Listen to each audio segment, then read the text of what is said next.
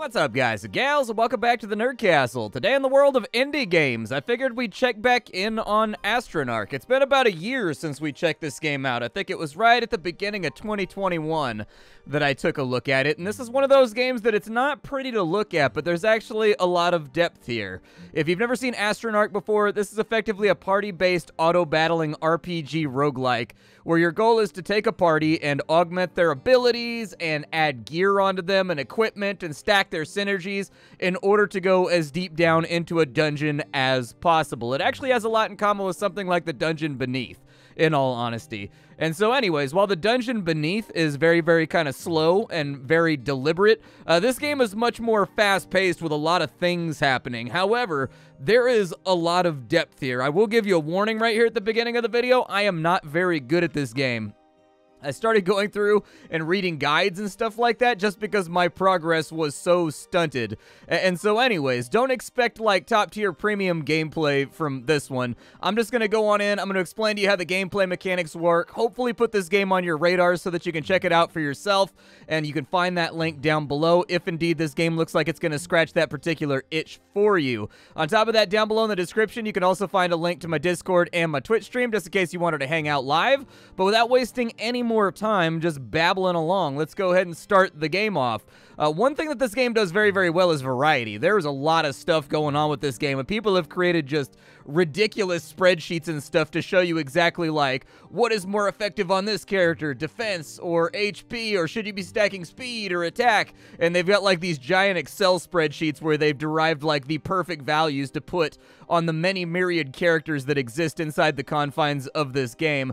And so anyways, what we've got to do at the beginning of the game is we got to pick three heroes. Obviously, I haven't unlocked a lot of them. I've unlocked some of them, but I've still got the ones left over that are kind of like I've still got a number left over uh, that actually require you to do achievements effectively to unlock, like the ones that are like, oh, sell 10 potions to the same merchant, you know what I mean?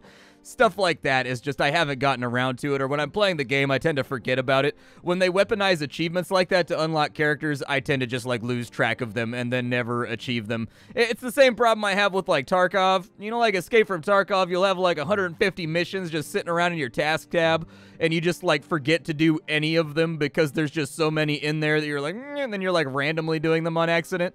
Uh, pretty much the same thing with me in this game. All right, so I'm going to take the Juggernaut because he tanks it up. The Juggernaut's got a lot of HP. He's got decent defense. He's pretty fast. Uh, the first time you reduce below 50% max HP, increase your attack and defense, and heal for 15% of your HP. So I believe that in most cases, he's going to stack very, very well with us just adding HP to him rather than adding defense. So that should be pretty cool. I've actually never played the Brawler before. Like, the Brawler seems like he'd be a lot of fun, but we only take three guys right now, so I'm just going to kind of leave it where it is. Uh, other characters that we can bring along, I figure I'll bring the Ronin. That sounds good. Uh, the Ronin has a 10% chance to put a fat bleed on the enemy, and then he's got an ability called Rising Gale, where he deals just a ton of damage to his target and all adjacent enemies. And so anyways, pretty good. And then we're going to need somebody in the back line. I sort of feel like... I sort of feel like a wizard would be pretty cool of some kind, or like some kind of healer, maybe like a cleric. Yeah, let's go with a cleric. Uh, the cleric's pretty bog standard. The cleric heals people. That's what the cleric does. The cleric does a Healy boy. And so, anyways, deal 50% attack damage to your target when you hear a hero, heal a hero by any means. So we gonna, we kind of want to put like items on this guy that make heals bounce around a lot, so that he's actually primarily dealing DPS from like heals over time ticking and stuff like that.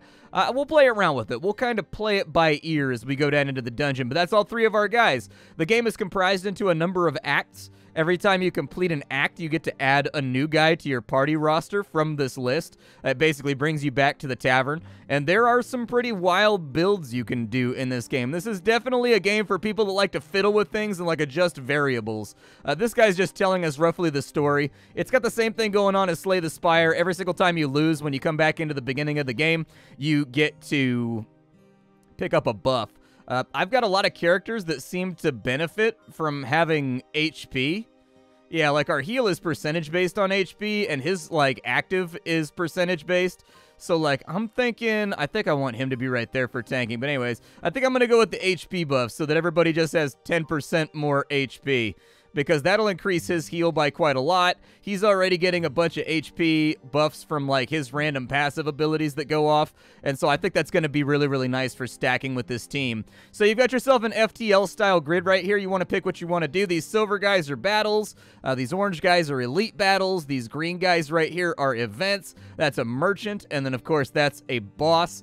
Uh, the thing that you're trying to do in order to avoid losing is you've got this stat over here called your morale. Anytime somebody gets knocked out, you lose one morale. However, every time you defeat a fight, you get four morale. So it is very possible to continue having a positive gaining morale even though you're losing characters. And so ultimately, like one loss in this game does not signal the end of your game like it does in so many other roguelikes. Uh, you get to have like repeated losses. However, what I found is once you start the death spiral, it's underway. Uh, let's go ahead and we'll just go straight up the middle, right up Main Street. And we've got this kind of weird off-brand Kmart Pokemon looking thing right here. I guess Kmart's been closed now for like 20 years. I probably can't reference Kmart anymore, can I? So things you need to be aware of, these bars. You got HP at the top, you got MP in the middle. When their MP gets up to maximum, they'll cast whatever their active ability is. And then underneath that, what was the third bar? There's something underneath there. It might just be their auto attack meter. I'll look the next time we go into fight. The game does provide you with a really, really awesome DPS synopsis over here so that you can figure out who's doing the lion's share of kind of your hacking and slashing and murdering and, you know, blood distribution. Uh, we've got an unstable orb that makes you start with 10 MP and gives you 10 defense. Attackers have a chance to receive a minor curse. We have a crystalline protector over here. Once again, a mage item. It gives you 15 starting HP, 5 defense, and at the start of combat, you gain 250 shield. This guy right here, Mana Spring Amulet, gives you 50 HP, gain 20% more MP per second. It is unique probably put that on the wizard, I guess. Every character has three item slots. Every single item can be upgraded twice. In addition, your characters can be leveled up uh, either by their own passive means. So some characters get like extra HP or extra attack every time you kill an enemy. Uh, some don't get anything at all. But either way, both this active and this passive right here, you'll occasionally find like red and blue orbs. Uh, you can use those to upgrade their abilities twice as well. And in fact, deciding who is the actual anchor of your team that's keeping you going and putting the orbs on them in order to allow them to carry even harder tends to be like a big decision in this game. On to our next fight. Over here, we've also got our gold when we get to shops. You know, we make money. I'm going to guess greed is good. I'm going to guess that the developer was an EVE Online fan. That's going to be my guesstimate. All right, so the little Wolfie is going down pretty easy. In fact, we're sort of like finishing off with perfect health here. Not bad. I'll take it. We got some more items to play around with. We've got the Bone Spike armor. 15 defense attackers bleed for 20 damage over 10 seconds. We've got Cobra's Reach. Your attacks poison your target, dealing 5 damage every 3 seconds. Doesn't he have something? Yeah, his attacks have a 10% chance. So we probably want to put the Cobra's Reach on him. Unless this Enchanter's brand is just something unbelievably awesome. Uh, it gives 10 attack. And you're immune to disarm. I don't know if I want to put the speed on him since he does have a proc. So he's got a 10% chance to put a fat bleed on people. And we kind of want that to go off as much as possible. And on top of that, he deals additional damage with his active attack for each time that he struck the enemy that he targets with it prior to the active attack going off. And so, like, that 10% speed right there, I think is going to matter. Like, I think that's actually going to be really, really important for making him into just like a really, really good character. And so, anyways, I think speed decreases when you put it on there. So he's at 1.8 speed right now compared to the 2.2 speed. I think that's actually like the literal amount of seconds in between their attacks, but I'd have to check on it a lonely mushroom out in the middle of the forest. What's up, little fungus? What you doing out here? This is a dangerous neighborhood for shiitake mushrooms, brother. I've been craving a mushroom skewer all day. Down he goes. He's off. Uh, what else we got here? We've got the Witch Stick. 10 starting MP plus 5 attack. Your attacks steal 1 MP from your target. The High Elf Claymore, your attacks have a 20% chance to deal an additional 100% attack damage to your target. That actually stacks decently well with the speed that we've put onto the Ronin so far. The Rod of Casting, Also not terrible. Also not awful. And as you can see, his DPS did go up by about 80 from us giving him that 10% attack speed. So, like, I don't know what he would get more mileage out of the High Elf Claymore or the Rod of Casting. I don't know what the better decision is here. Of course, if you're feeling overwhelmed at any time, you can just take a fat stack of gold and just buy the thing that you want at a shop. But yeah, I'm kind of torn between. I mean, the Witch Stick wouldn't be terrible on the Cleric, it wouldn't be bad. It would let him heal more frequently. I guess I'll put the Claymore on the Ronin and just kind of see what happens. I don't know if that's going to be a smart decision, but after staring at it for a little bit, I feel like he's giving us a lot of DPS. We'll keep an eye on it in this fight right here, and we'll just see the way that it goes, or I guess DPF. It's how much damage he's dealt per fight at this point. Yeah, his damage definitely went up once again. I mean, that fight didn't have a whole lot of sustain to it, so it's hard to say with any, like, conclusivity, if that's even a word.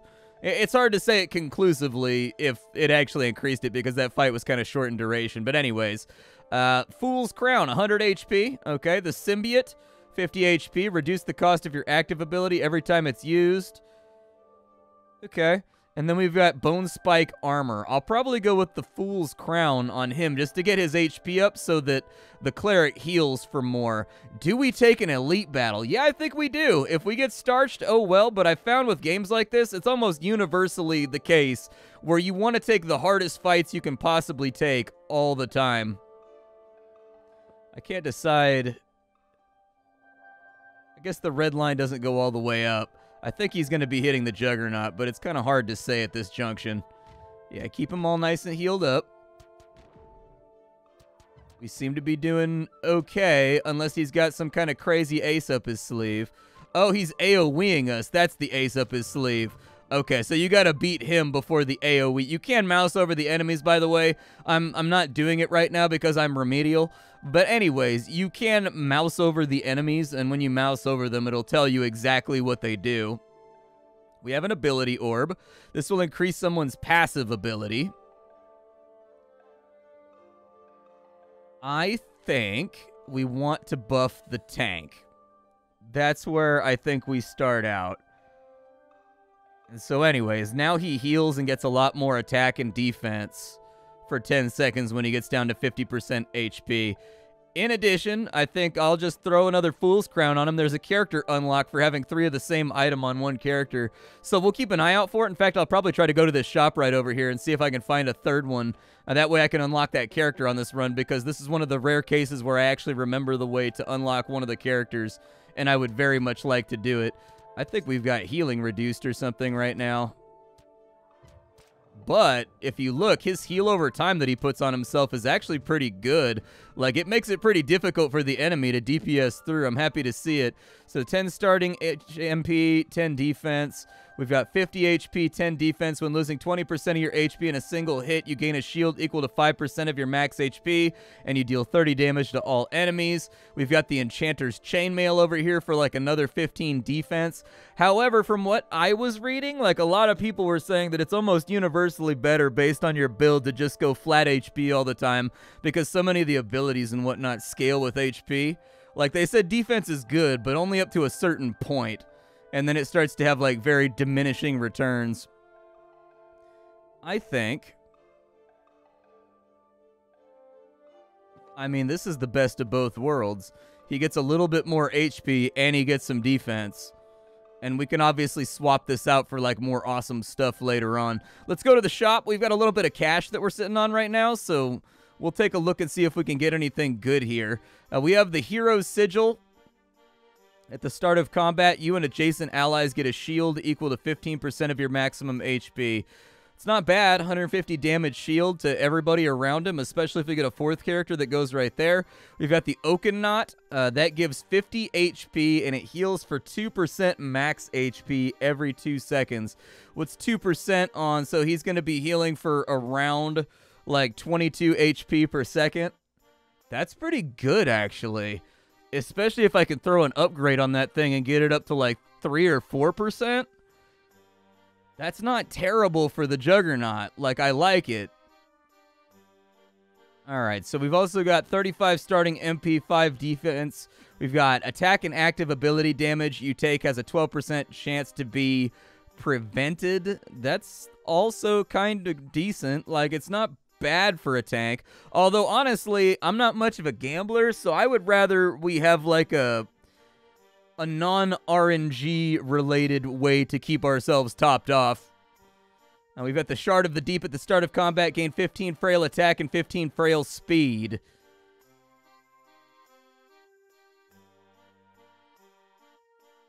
That's also not the worst pick that I've ever seen for the Ronin.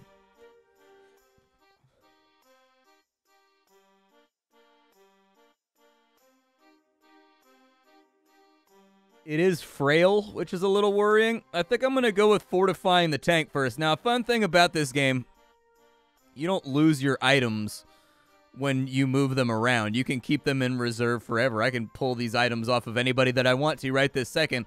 And so that's one thing that's kind of like, I think it's a little bit different from the dungeon beneath, I think. In the dungeon beneath, I think once you put something on somebody, it's like on them uh, until, until further notice or something like that. I don't know. Maybe it's been a while. I do want to upgrade this 4%. So he's getting 24 HP per second. Yeah, do that. And then I'm going to try to upgrade that a second time at my earliest convenience because he's getting really, really good HP off of that. And I think if I can upgrade it one more time so that he's getting around 80 HP every single time it ticks, he should be able to withstand the storm of enemies hitting him pretty viably, in my opinion. I mean, I, I do I do like the hero sigil, and there are other things that I was interested in having. Unfortunately, our finances are just not in place for it right now. And so the real question is, do I go for the elite battle? Yeah, let's go for the elite battle. Why not? We're doing really, really well on morale. So even if we lose, I'm not that upset about it. The heroes discover an ancient and ominous altar. The inscription reads, He who has no charity deserves no mercy. From Sal, the Holy Mother, there is a pile of gold in the offering bowl. Uh, yeah, I'll take five free morale. Why not? I'm kind of low on money anyways. You heed the message on the altar and offer what gold you can spare. Very nice. Okay, let's take the elite fight, and hopefully this one doesn't straighten us out. Hopefully this goes pretty well and we don't get starched. Uh, the, the real issue for this party is going to be enemies that have access to AoE abilities because we've got our other guys built like really, really, really squishy, like extra strength squishy. Uh, and we've put pretty much all of our money riding on the tank holding. And so that's a very, very real blind spot in our overall kind of repertoire. Is like we don't have a contingency plan for enemies that use a high volume of AoE damage. However, we made it on through. We didn't have any major problems, so life is good. We got a red ability orb. I'm going to slap that onto the cleric so that he heals even harder. Uh, we can take a giant's club. Your attacks deal additional damage equal to current 3% of your current HP. Okay, so not not not an awful pick. The Arcane Stabilizer. The first time you're reduced to below 35% HP, gain a shield that is 10% of your max HP and then heal for the same amount over 10 seconds. Meh. Uh, the Symbiote we've already seen.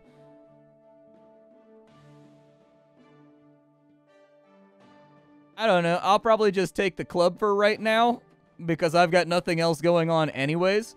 I'm not inherently super stoked about taking the club, but neither am I depressed and weeping in the corner about it. Like, you know, I'm going to swap it out later on, but like it's something. Uh, we do have a couple items in here. We do have the hero sigil, which is pretty cool. Uh, we've got the Lich Wraps. That's pretty good for the healer. It allows him to get an early game heal off even faster. And then it also lowers the amount that he needs in order to cast his heal. We've got a Bandit's Hood. It makes you hidden, so you cannot be targeted. Your attacks have a 5% chance to gain a gold.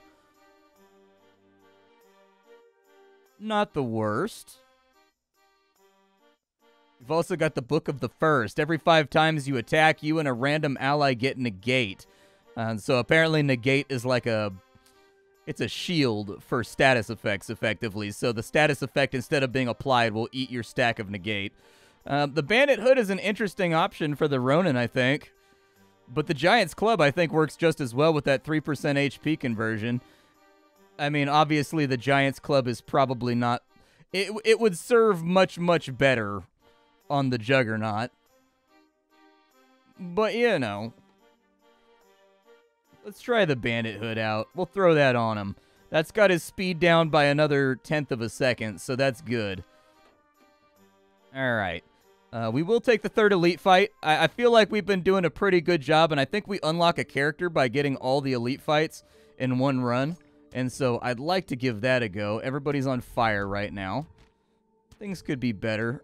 We on fire up in here. The city's hot. We on fire. Man, it's been a while since a Lloyd Banks reference was relevant.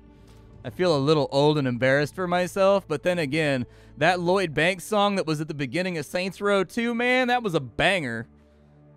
And that shorty when you party with me, we're going way past quarter to three. Dude, that was that song was a banger. Ooh, the Zephyr Pendant. Increase your speed by 2% per second. Ooh. That's kind of spicy.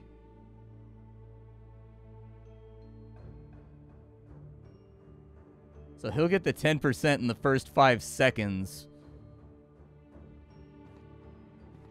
Do it. Yeah, let's do it. We'll throw that on you. There's no reason not to just throw whatever items we have laying around on people. Let's go for it.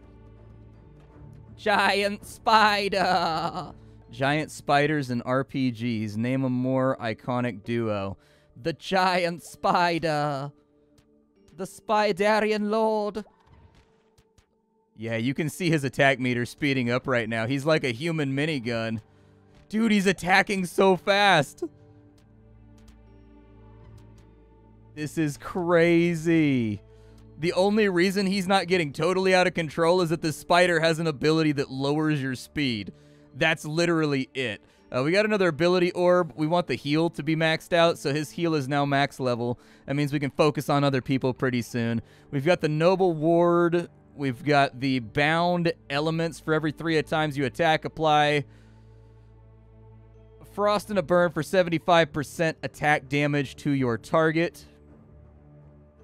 We have the symbiote. I think that actually goes pretty well right there. We have to give up on the gold, and he loses his hidden. But he should be attacking pretty quickly, which means we should get a lot of those applications right there for a lot of bonus damage. I would think, anyways, just rationalizing through it in my head. But this is what I mean about Astronarch, where it's not like a particularly pretty game, but the soundtrack is good enough. You know, the sound effects, yeah, nothing to write home about. The art design and all that stuff, like, meh, it's got kind of like a sort, like a Super Brothers type inspired thing going on. But ultimately, they've got enough depth and layers to the builds and the systems in this game that it's kind of like Tales of Maj'Eyal. Like, you want to play because you don't know what's going to come up, and every run is so different from the last run. You know, one run you might be building a totally attack centric Astronarch, you know, Ronin and then on another run you're doing like this weird speed build with AoE applications and everything. Like it's kind of cool watching the program come together in my opinion. When you are knocked out you will continue fighting for 5 seconds. Enemies ignore you can only activate once. That seems like planning to lose. I tend to avoid strategies that are like plan to lose uh, it will make you hidden, I guess. Having my healer targeted is like one of the worst things ever. However, this hood is going to be really important because when we get new characters, they're not going to be leveled up and they're not going to have items. And so putting the bandit hood on a new character is a good way to protect them. So Tower Shield. At the start of the combat, you get frail defense. Meh. The Hero Sigil is still really tempting, but I need to be able to upgrade it. The Plate of the Fallen. You are Divine for 3.5 seconds. Divine means you can't take any damage. Uh, it's basically a Paladin bubble. And then we've got the Brain Sage. For every 50 MP, 50 MP you expend, heal the weakest hero for 100. We need that. That's really, really good for the for the cleric. Uh, because the cleric not only gets more healing when we apply that, but the cleric also deals more damage when we apply that. And so basically, I think the cleric's heal is around, like, yeah, 60 MP right there is how much he has to charge up in order to cast his heal this guy right here, so he gets basically two heals for every one. So he gets, it's only 100 HP over 10 seconds. I do wish that it had like a percentile component to it, but it's an extra heal that you wouldn't have otherwise. So yeah, I think we're sold on the Brain Sage. I, I would like to do other things, but the Brain Sage is like really, really, really good uh, for our Priest, I think. At least for now. It's not going to scale well unless I upgrade it so that it does more HP, over time. Like, we're definitely going to need to hit that with the hammer from time to time. in order to make sure it does a good job, but all right, over to here. We've got another fight in front of us. Sometimes I lose myself on the map. I wouldn't mind having like a little arrow. They've got a fader effect on that, but I wouldn't mind a little green arrow that bounces up and down with where you're at. Uh, as long with the the. Oh no, dude, they're hitting like everybody. That's not good. Okay, well, I'll keep the tank where he's at for right now. I've got a bad feeling about this one, though. If you lose a boss fight, you lose the game, so don't lose boss fights, is my advice to you. Hopefully... Hopefully they won't hit too hard. There we go. We got one down. So that should eliminate some of the enemy's DPS. Looks like we're partially on the boss right now, and we're partially on his minion. Hey, we pulled through. Yeah, that was one of those fights I was talking about previously where we're going to struggle, is just because if we can't keep all of the aggro on the tank, nobody else is built to take damage. So we've got the Ancient Codex. If you're below 50% max HP, your ability costs less MP. Okay. The Tundra Talisman, it periodically puts frost on all enemies and gives starting MP, so you get a heal off faster. We've also got 10 attack right here and it looks like 30% of the damage goes to other enemies. There's nothing here that I'm especially stoked about. There, like, there's nothing here that's tickling my jimmies in a satisfying way. So really our option becomes we either take the money or we take an item in the hopes that we can... I'm going to take an item and we'll just put it in our backpack storage. Oh, that wasn't the boss. That was a normal fight. Uh, oh, wow. Okay, somebody, yeah. Hey, what's going on, man? Uh, you're huge. You're huge and terrifying. So it looks like he natively increases the cost of our abilities. All right, that's okay. We're getting a little bit of health back. We are, like, kind of losing the battle, but his ability is about to go off. Yeah, he's in Rampage now. So he should heal a little bit faster now that he's in Rampage. Let's go ahead and drink a potion to put a shield on everybody just to give us a little bit of extra oomph to get through this fight. There we go. Very nice. I mean, one of the things is the samurai, once he spins up, like he's good to go. It's just he's got to spin up first. I think we should probably... Let's upgrade his rampage so that he gets half of his HP back over 10 seconds. That's really, really good. And then let's go for maybe upgrading his Rising Gale, I guess, so that he can stack it four times now. We've got legendaries here. So we've got the Demon Prison, deal 100 piercing damage to all enemies every 7 seconds, even while you're unconscious. It's pretty good. That's not bad. Avalanche, when you attack, if your target has 10 frost, remove all frost and deal 350% attack damage to your target and any adjacent enemies. We do have Frost every three seconds down here, so we do have a combo right there with Avalanche. If we take a Frost Mage and we put the Frost Necklace and the Frost Sword on him, not a bad combo. And then we've got the Godbreaker. Your attacks do 20 piercing damage to your target and all adjacent allies. Any enemies damaged by this have a 20% chance to be stunned for one second. I think that may be our guy. If we put the Godbreaker on him while he's spinning up, I think we'll get a lot of mileage out of this. That's just my initial thought, and if we don't get a lot of mileage out of it, we can just swap the, the High Elf Sword back in. Uh, so we've got characters we can play around with here, and look at that, we unlocked the Bard. Huzzah, we've got ourselves a little guitar boy over here. I do have a Frostmancer, and we do have the items for the Frostmancer, so I think it's time to put him in. Oh, I didn't take the secondary item, though, so no, we don't, actually. Okay. At the start of combat, you gain a shield equal to 25% of your max HP. Yeah, I think that the Wild Mage stacks well here.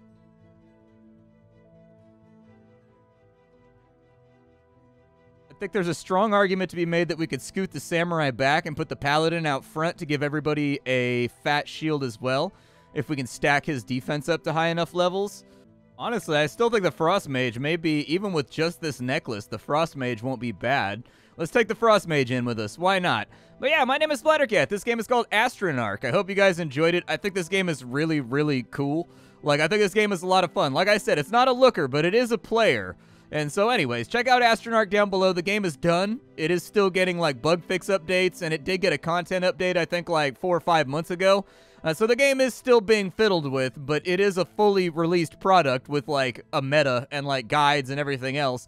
I highly recommend you check it out if you enjoy auto battlers. You're going to have trouble finding anything with much more depth than this. I think this game and uh, the one with the little the little slave guys that are Despots game are probably my two favorite auto battlers, but this one's pretty cool. I'll see y'all later. Thank you for stopping on in. My name is Splattercat. I sift through the pile of find what's worthwhile in the world of indie games every single day so you don't have to. Today up on the chopping block, it was Astronarch. Tomorrow it'll be something else. Thank you for hanging out, and that's about all I got for you.